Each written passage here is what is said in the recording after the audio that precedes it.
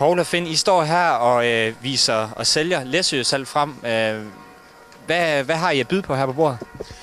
Altså hver eneste år igennem 15-16 år, så kommer vi her til Aalborg og viser det salt, vi laver i et museum på Læsø. Og det vil sige, at vi tager produkterne med herned, og vi laver selvfølgelig også lidt messetilbud. Men det er den gode historie, vi bringer herned. Og den gode historie, det er, at Finn, som står her ved siden af mig, han repræsenterer væsken. Det vil sige, det der koncentrat, der bliver tilbage, når vi har lavet salt til bordets glæder. Det er det salt, man bruger til hudens glæder, psoriasisbehandling, atopisk eksem. Så vi har lavet salt på Læsø i 25 år, men for at vise, hvordan man gjorde det i middelalderen. Og det har vi taget forskellige produkter med. Og Finn, som står her, har så for godt et år siden taget over og behandler så i sit center dernede i kirken, og det kan Finn jo så fortælle lidt om.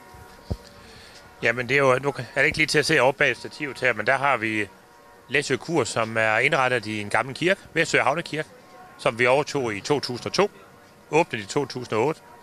Og som Paul var inde på, jamen der har vi blandt andet det her restlag fra salgsyderiet.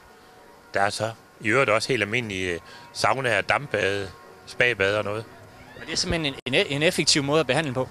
I forhold til uh, psoriasis og i forhold til uh, hudledelse, ja. Og der, de psoriasis-patienter, vi har, de er hos os i fire uger, bader to gange 45 minutter om dagen.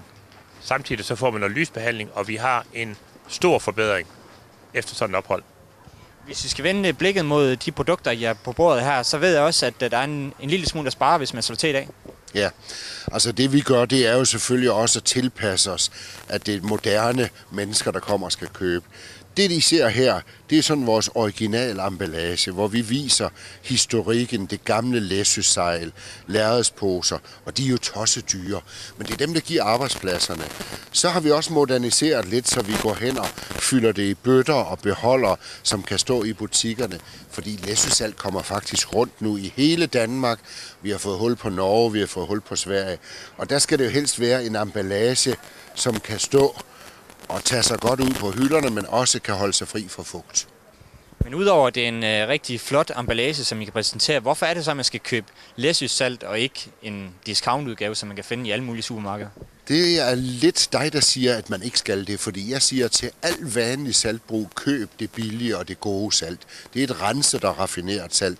Men når der er kreds, fest i gaden, grillen er fremme, sommersolen stråler, så tager man jo det ypperste af det ypperste, der hvor der er mest smag.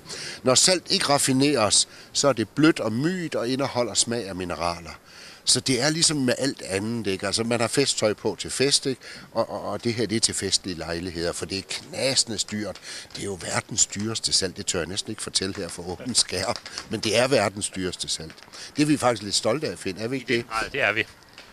Jamen, det er heller ikke, øh, der er ikke nogen grund til at lave om på det, fordi det er egentlig, øh, der er fuld værdi for pengene her.